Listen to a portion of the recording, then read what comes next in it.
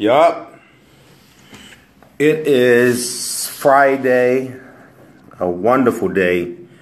Uh, it's freezing outside. It's probably um, 19, 20 degrees outside. I'm surely praying for the homeless and um, all of those that uh, don't have electricity and things of that nature. So my prayers go out to them. I, I don't have a lot of time, but um, you know, I just wanted to make a quick announcement and then we'll dive into it um, next week.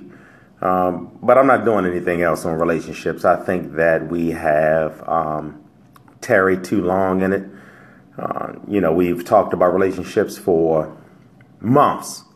You know, even though it is my uh, my favorite topic uh, because I love relationships, but I think that we need to go somewhere else with it coming as we approach 2017. So, uh, with that said, I, am gonna end uh, these next couple of weeks. We're gonna talk about lessons learned, lessons learned according to me. Um, you know, things that I've learned in 2016. Um, and then in 2017, we're going to talk about success um, the first couple of months in 2017, we're going to talk about success. I don't know if many of you know um, that I've had like a couple of businesses um, and I have failed in a lot of businesses. I probably lost. This is, this is like no exaggeration. I probably lost about 150,000 minimum.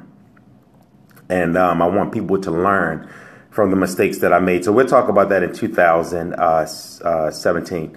Uh, but look, 2016, let's start it off. Um, so let's talk about um, success. Success. One of the things that I've learned in 2016 is not is the definition of success. One of the things that I've learned in 2017 is the definition of success.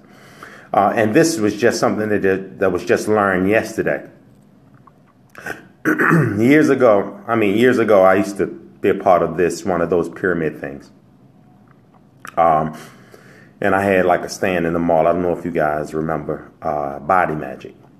Um, it's what it was a girdle, and the girdle, um, it was a girdle stand that I had uh, in um, the mall along with my other stand, and uh, a person with whom you know started the business or whatever uh, I saw a picture of her the other day, and uh, now she's a millionaire. She's a millionaire, and I'm not a millionaire yet. We started, she kept going, different ventures. My what happened with me was I took a landslide. I went all the way south. Not by not because of perhaps anything I've done, but just life. My purpose is different. So I saw the pictures and um, I said, Dad, you know, she's a millionaire, you know, got the rolls, getting a big house, you know, red bottom shoes, so on and so forth. And I thought to myself, my, you know, my feelings went there for a second because then I started to think about, you know, where perhaps I may have failed at, what did I do wrong, and how come I'm not that millionaire yet. She's ascended and what happened with me was from a financial perspective, uh, from an overall perspective, I descended when you look at it, when you look at it on the outside looking in. And I'm saying that to you because you are, you, because where you are is not where you will land. Let me give it to you again. Where you are is not where you will land. Just because you started out with somebody and they assume to be successful, that doesn't necessarily mean that you're not successful.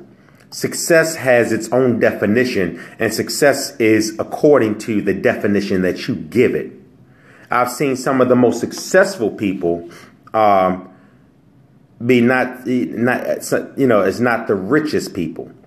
When you chase money, when you chase things, when you chase clothes, when you chase houses, when you chase things of that nature, that's the quickest way to make you feel unsuccessful. Let me give it to you again. When you chase money, and these are my thoughts, when you chase money, when you chase clothes, when you chase uh, things, that's the quickest way to make you unsuccessful. Why? Because that's your point of referral.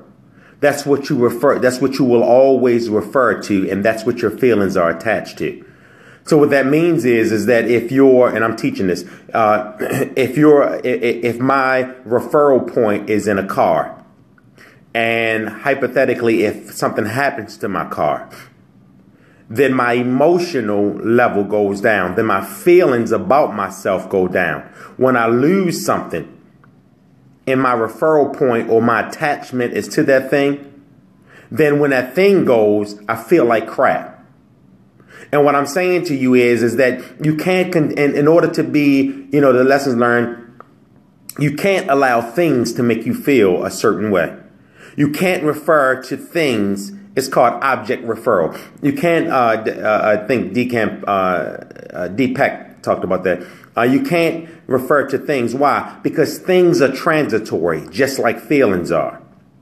What does that mean, Cook? Th- transitory feelings are things that just come and go. Your feelings come and go. You might feel pissed off right now, but then be happy tomorrow. And, and it's the same thing with the car. Everything is, life is steadily evolving, so you can't attach yourself to things. And so, as with my friend, she's a millionaire. I went all the way down. I ended up on welfare. I ended up on medical assistance. You know, I ended up feeling like crap, only to be raised back up. Why? Because my self referral, who I am, what I began to think about myself, started to arise and make me feel better. And then they had what's called the law of attraction. I gave off a certain energy that uh, began to attract stuff. Did you hear what I said? And a question that I have to ask what energy are you giving out? When you wake up this morning, don't look at the pocketbook. Don't look at your pockets and only see a penny and you feel like crap. You can't allow that to happen. No. If you see one penny, you got to see a hundred dollars. It's a penny in physical sense but you have to imagine more. You have to come out of that thing. You can't look at where you live at and determine that's the zip code that you're residing at. That's not the end all say all. She went up. Big car. Big, big bank account. And I went down. But our purposes are different. And whenever you look at the scheme of things, What's your purpose in life? Where do you want to be at? Where is it that you want? Stop looking at everybody else and start looking at yourself. Where am I going to be and where do I want to be? Stop looking at your pockets and let that be the determining factor of how you feel. I'll continue this. Holla at your boy.